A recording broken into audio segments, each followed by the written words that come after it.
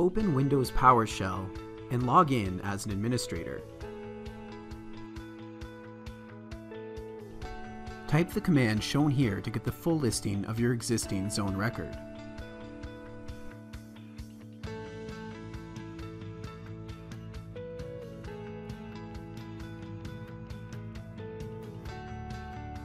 In this example, the zone name is entracertlab.com.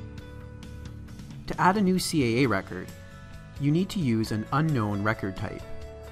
This is because Microsoft Windows does not provide a specific field to add this particular record. To add a CAA record, use the command shown here. Please see the video description below for this command, which you may copy and paste, and apply your own DNS zone specific information where required. The CAA record has thus been added. Now you may once again run the command to review your zone records, and you will see that the unknown record is showing along with the other previously existing records.